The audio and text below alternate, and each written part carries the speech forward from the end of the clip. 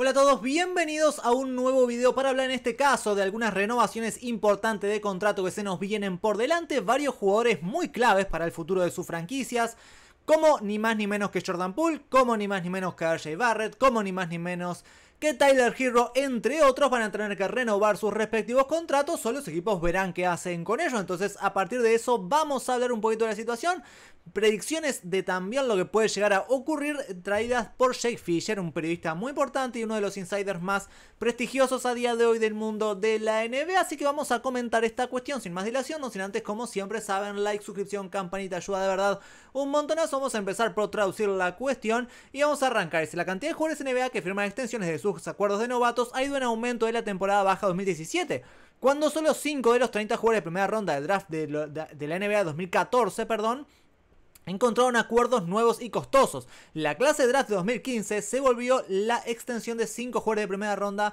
en verano 2018, pero ese número se duplicó en 2019, bla bla bla. Eh, cuestiones, digamos, de, de, prolegómenos. Keldon Johnson, la selección 29 de draft 2019, acordó una extensión de 80 millones por 4 años con San Antonio. Eso fue hace bien poquito. Esto sí es importante porque esto puede marcar la pauta de lo que se viene, dice Jay Fisher. ¿Quién será el próximo en seguir a Keldon Johnson y cómo afectan las posibilidades comerciales de Kevin Durant y Donovan Mitchell a varios jugadores elegibles para la extensión, porque esto obviamente es muy clave. Se habla de que Durant podría llegar a Warriors, es poco probable, pero es algo que se ha comentado. Se habla así con más eh, raciocinio que Mitchell podría llegar al equipo de New York Knicks. Esto tiene mucho más sentido y es muchísimo más factible.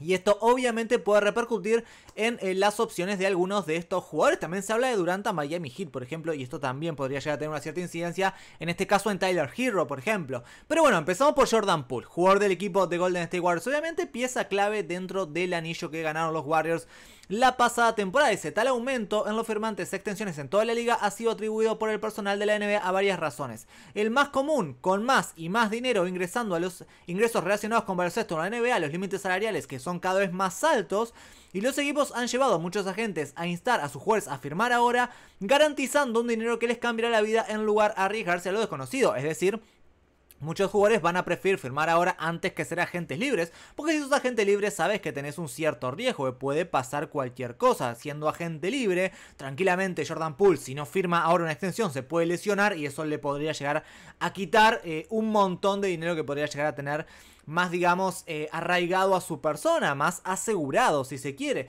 Por otro lado, esta ecuación de riesgo ha habido cada vez menos casos en los que las oficinas centrales apuestan a que su jugador no será más caro para cuando llegue el mercado abierto verano. También puede pasar lo contrario, capaz que ahora Jordan Poole vale un contrato de 100 por 4 y dentro de 6 meses, capaz o dentro de un año, Jordan Poole me va a valer 100 por 4, vale 150. O sea, puede llegar a, ocurrir que su 150 no sería el máximo, creo que son 130 y 133, sería supongo yo, caso parecido al de DeAndre Ayton, por ahí andaría un poquito más porque va a subir el tope, calculo que será 135, 136 pero algo así podría llegar a andar. Y entonces, claro, Warriors también se arriesga a eso, entonces lo mejor para todos siempre es hablar algo de antemano. En caso de la extensión para el eh, guardia de los Warriors, Jordan Poole puede ser más complicado de todos de la primera ronda 2019. Paul dio un gran salto de calidad durante su primera temporada en Golden State, transformándose en un anotador de rotación letal en un equipo de campeonato después de pasar un tiempo significativo en la G-League en su segundo año. Estratégicamente, Golden State tiene todos los incentivos financieros para dejar que Poole juegue su cuarto año sin un nuevo marco de acuerdo, a diferencia de Branson, por ejemplo, Poole ingresaría su próximo verano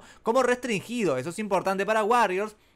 Saber que no lo van a perder. Siempre Warriors va a tener la posibilidad de igualar cualquier oferta que Jordan Poole tenga. Esto es muy clave. Si Poole retrocede o simplemente se afianza como un jugador fuerte a nivel inicial en lugar de un All-Star, entonces Golden State podría encontrar un acuerdo cercano, como les decía, 4 años y millones, como Simmons en el verano, en estos últimos días, hace un par de semanas.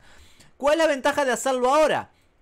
Bueno, la, dice, no es un, dono, un Luka Doncic o un Donovan Mitchell quienes han mostrado que pueden llevar un equipo. Está cerca, si lo vuelve a hacer le pagas. Pero antes de este año era un jugador límite de rotación. Es decir, lo que comentan algunos o lo que se habla es que Jordan Poole no es tan bueno. Que quizás la temporada que tuvo sea, no digo que una excepción, pero sea ese jugador que no tenga muchísimo más crecimiento más allá de eso. Entonces es factible que la próxima temporada de Jordan Poole por ahí no sea tan buena. Hoy día Jordan Poole está en el foco máximo, en el límite máximo de su nivel. Capaz que el próximo año no juega tan bien, a Warriors no le va tan bien, no está Jordan Poole con un anillo en la mano recién puesto y eso obviamente va a hacer que su valor baje un poquitito. Y aunque se ha rumorado que Poole es una pieza esencial del paquete de intercambio teórico de los Warriors para conseguir a Durant, ha habido poca atracción entre Golden State y Brooklyn en una transacción tan exitosa, dijeron las fuentes.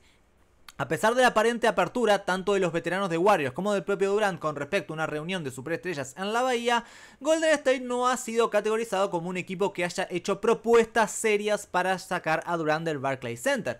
No es tan así por ahí como se dice habitualmente que Durant estaría dispuesto súper y que Warriors está ahí y que podría llegar por ahora, no hay nada. Y la verdad que lo que hay simplemente son rumores, no está en el, en el sí, en el, en el foco, digamos, de la franquicia, volver a llevarse a Durant, según comenta Jay Fisher. Esto es importante también de cara al futuro próximo de la franquicia de la Bahía. Las conversaciones de extensión de pool probablemente tomarán algún tiempo en finalizar. Fuera de los acuerdos inflexibles de novatos designados, la mayoría de extensiones de contrato para ex selecciones de primera ronda que ingresan en su cuarto año de carrera generalmente finalizan la última semana antes de la próxima temporada. Con la clase de 2019, la ex selección Zion Williamson, ex selección Jamoran también, y el base armador Darius Garland firmaron sus acuerdos máximos al eh, principio de la agencia libre, pero obviamente son jugadores que están un escalón por encima, por supuesto, de Jordan Poole.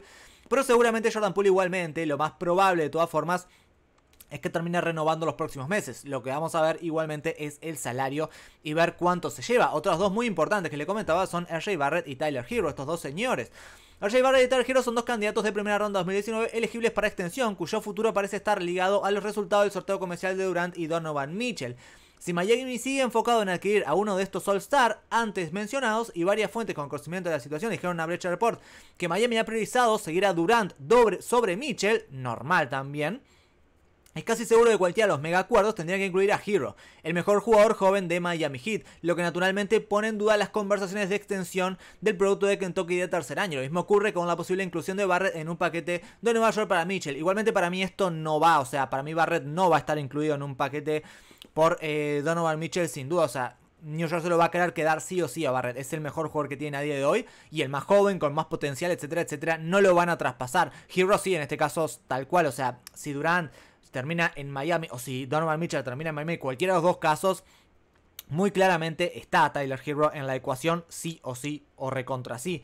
Pero cualquier jugador que firme una extensión de novato caería bajo la disposición de la píldora venenosa de la liga, lo que complicaría aún más las matemáticas torcidas que subrayan los intercambios de superestrellas. Si Barrett o Hero firma una nueva extensión, el tope salarial de cada jugador para 2022-2023 representaría su salario saliente al fines de igualar los acuerdos. Mientras tanto, el equipo que lo reciba, Utah en este caso, tendría que ir a Barrett o Hero al valor anual promedio de su contrato novato que vence, más eh, los nuevos términos de extensión. Es el Poison Pill ese que se habla muy habitualmente, pero esto no, da un poco igual, la verdad. No tiene tanta, tanta importancia, o al menos eso es lo que yo creo. El personal de los Knicks ha proyectado confianza, dijeron las fuentes, en que finalmente podrán conseguir a eh, Donovan Mitchell sin sacrificar a Barrett. Importante porque realmente nos están dejando puntillazos interesantes, más allá de las renovaciones de estos jóvenes, respecto a cuestiones que hagan en sus equipos y que no dejan de ser eh, realmente muy pero que muy interesantes, reitero. Del mismo modo, fuentes de la liga han indicado que Utah no está enamorado en convertirse en la franquicia que le ofrezca una extensión considerable a Barrett. O sea, tampoco, y de eso lo habíamos hablado también, tampoco parece que Utah esté enganchadísimo con Barrett. Ellos prefieren armar de cero, digamos sin tener un contrato máximo ya en el equipo, así para un jugador que no sé yo si vale ese, ese máximo que probablemente se termine llevando RJ Barrett y que Utah no está del todo seguro que Barrett lo valga. Se espera que tanto Barrett como Hero obtengan el máximo de días de pago. Según todos los informes, parece poco probable que Barrett encuentre un nuevo acuerdo en el interín. Independientemente de los resultados comerciales, hay una mayor sensación de optimismo entre los ejecutivos de la NBA que Miami llegará a un acuerdo con Hero antes de la campaña 22-23. Parece que siempre les pagan a sus muchachos dijo eh, un asistente del gerente general. Y es cierto, Miami suele pagarle a todos y realmente están contentos los Miami Heat con, con los jugadores que tienen. Ustedes saben el contratazo que le dieron a Kyle Lowry. Obviamente la gran renovación de Jimmy Butler. A Debajo le dieron también el máximo. A Duncan Robinson le dieron un contrato fenomenal. Es muy factible que eh, Tyler Hero siga en esta línea y también se lleve un muy buen contrato. De Andre Hunter, uno quizás un poquitito menos importante. Los Hawks no lograron eh, llegar a los términos de la extensión de John Collins ante la temporada 2020-2021 y Atlanta ha enfrentado obstáculos similares al llegar a un acuerdo con DeAndre Hunter. Los primeros indicios son que Atlanta y Hunter no han encontrado mucho progreso en las conversaciones de extensión, donde ambas partes tienen una diferencia de aproximadamente 20 millones en términos salariales. La extensión de 80 millones de Keldon Johnson ahora sirve como comparación obvia para que los representantes de Hunter la usen de sus lados de las negociaciones. Johnson ha mostrado una ventaja prometedora, pero entre una lista en reconstrucción. Cuando estaba saludable, podría decirse que Hunter era el segundo mejor jugador de los Hawks atrás de, atrás de Young. Sin embargo, solo más de 23 juegos en, en 2020-2021 y luego Hunter vio piso en solo 53 concursos de la temporada pasada después de perder tiempo por una elección de muñeca.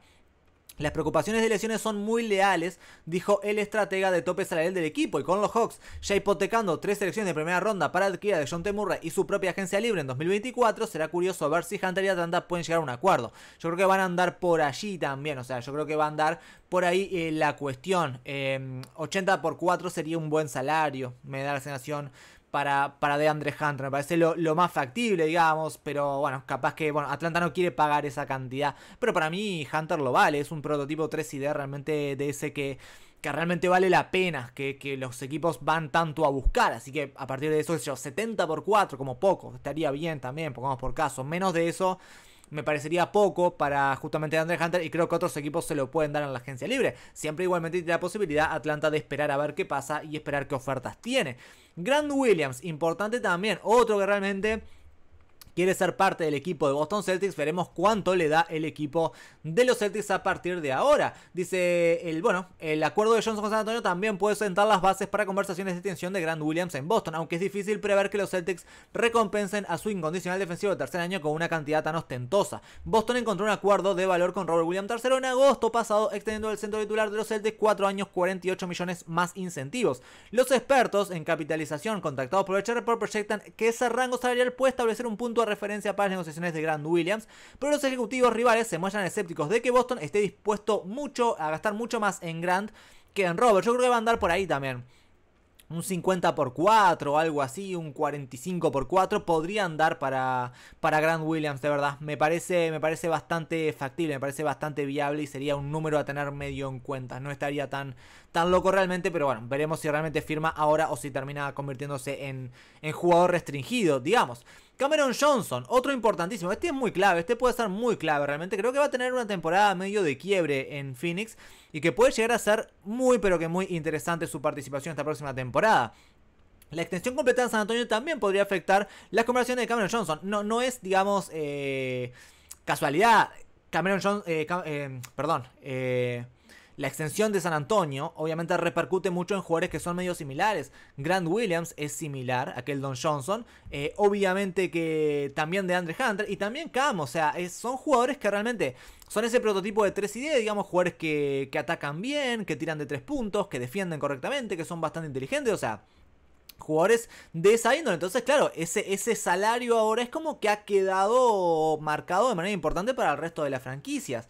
La extensión completada en San Antonio también podría afectar las conversaciones de Cameron Johnson con Phoenix Santos. Acuerdos de David Bertans, Duncan Robinson, Josh Harris también representarían comparaciones amistosas de contratos para el próximo acuerdo de Johnson. Además, se puede argumentar que el ala sobresaliente de Phoenix es más que un simple tirador. Puede jugar, eh, puede generar jugadas fuera de regate y habilidades defensivas adicionales de un legítimo 6,8 pies. O sea, es realmente un jugador súper completo y que la verdad creo yo se va a llevar un buen, un buen acuerdo. Con eso, el próximo acuerdo de Johnson podría superar los 15 millones en promedio anual, representando una nueva crisis del tope salarial para Phoenix Suns después de haber readquirido a DeAndre Ayton. Así que no sería tan loco que Phoenix busque alguna alternativa por allí, o que se vaya Cam Johnson, o que se vaya finalmente Ayton, o que busquen algo por allí en la vuelta, porque la verdad es que están complicaditos en materia de salarios. La contabilidad de los Suns se ha vuelto bastante costosa y el personal de todavía clasifica a Jack Crowder y Dario Saric como con candidatos comerciales que ingresan esta temporada para despejar el margen de maniobra necesario en los libros de Phoenix. También podría ser que Phoenix, bueno, se saque de arriba a Crowder y Saric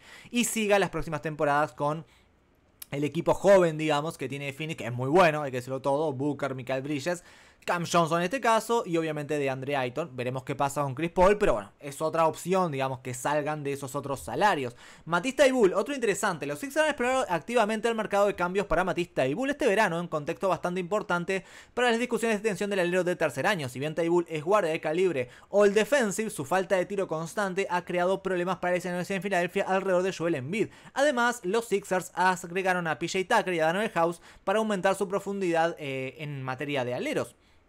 No ha habido tracción en las conversaciones de extensión de Taibul, dijeron la fuente, la mayoría de los diálogos de extensión no comienzan en serio hasta que se acerca el verano, pero Taibul puede ser el caso perfecto para contrarrestar la tendencia reciente de la liga de aumentar el número de extensiones. Si el mercado comercial actual es una indicación temprana de la agencia libre del próximo verano, el valor de Taibul podría tener dificultades para recuperarse de una mala actuación en la postemporada y su estado de vacunación, también importante, complica más aún las cosas. Quizás haya espacio para que Taibul apueste por sí mismo con la esperanza de conseguir un acuerdo más rico la próxima temporada baja y es algo que va a tener que hacer si Taibul no le queda otra porque a día de hoy Taibul no vale mucho, es real, o sea, no ha hecho una muy buena temporada, en materia ofensiva ha sido flojísimo. La cuestión vacunatoria siempre pesa también, porque bueno, no puede jugar en Toronto, por ejemplo. Cuestiones que obviamente son importantes y a partir de esto, obviamente no es que vale tanto. Además, reitero, como dice por allí, Filadelfia lo ha puesto en el mercado y la verdad es que nadie ha ofrecido demasiado por él. Entonces, esto también repercute bastante en la situación de Matista y Bull a día de hoy. Yo creo que Taibul eh, va a esperar y el próximo año recién veremos qué contrato se lleva. Este año no va a renovar y es probable que este año ni siquiera lo termine en Filadelfia. Así que a partir de eso, más cuestiones y más interrogantes todavía para, remarcar. Nasir Little, Nasir Little, jugador del equipo de Portland Blazers. Importante, la verdad, Nasir Little ha tenido una temporada muy buena el año pasado, creo yo. Es un caso, dicen por aquí, similar al de DeAndre Hunter. Eh, Portland tiene un caso de extensión eh, intrigante con Nasir Little, quien dio un salto significativo en enero tras de sufrir un desgarro en el hombro que puso fin a la temporada y requirió cirugía. Little registró 13,8 puntos, 40,3% de tiro de 3, 5,7 rebotes. La verdad que lo hizo de muy buena forma. Little parece ser un candidato fuerte para unirse a la alineación titular de los Blazers en el ala, uniendo cancha del Dame Lillard, Anthony Simmons, etcétera, etcétera, etcétera. Y obviamente con Narkic y Jeremy Grant eh, como jugadores más altos. Podría ser tranquilamente Nasir Little el alero titular del equipo de Poland. A partir de esto podría llegar a tener eh, una una eficiencia mayor, digamos, y un contrato todavía mayor si esperan a renovarlo el próximo año. Eh, tiene un incentivo evidente para encontrar un acuerdo a largo plazo con su historial de lesiones. Es cierto igualmente que siempre es un riesgo y Portland, al llegar a un acuerdo con Little ahora, en realidad podría proporcionar una mayor flexibilidad a través de la disposición de Payson Pierce y los Blazers finalmente se encuentran buscando mejores, mejoras comerciales adicionales en torno a Lillard. Todos esos factores apuntan a una extensión que beneficia a ambas partes. Es probable sí que en Little en cualquier momento veamos la renovación. Es bastante, bastante factible. No sé yo qué se podrá llevar. Yo creo que un 30 por 3, algo así tranquilamente podría llegar a tener. O algo 40 por 45 por 4, algo por el estilo, digamos podría llegar a ser interesante como para que realmente busquen alguna alternativa que favorezca a todos. Y por último, Kobe White. Kobe White es importante, me fue un pick número 7 de 2019, o sea, ni más ni menos que un pick número 7. Es un juego que tiene un potencial que a mí me gusta bastante. Bruno dice, la selección número 7 de 2019 Kobe White ha experimentado una carrera accidentada, atascada por propias lesiones, pérdida de balón, etcétera, etcétera. Los Bulls han colocado a White en conversaciones comerciales que se remontan a la fecha límite de intercambios de febrero, donde también exploró acuerdos con White junto a la selección número 18 en el draft de junio.